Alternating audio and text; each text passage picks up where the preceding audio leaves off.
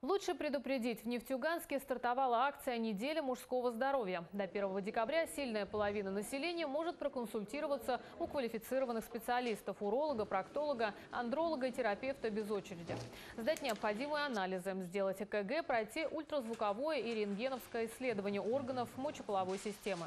Отмечу, что в Нефтьюганске акция проходит уже в пятый раз, однако впервые мужскому здоровью уделили целую неделю. За первые дни врачей посетили 130 человек. Ожидается, что такие акции будут проводить по всему округу.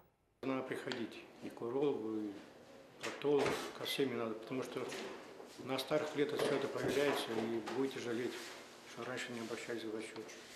Каждый о себе должен думать в первую очередь. А то, что сделали, тут э, вообще хорошо. И молодым, и старшее поколение. Сейчас пришел без очереди, без ничего.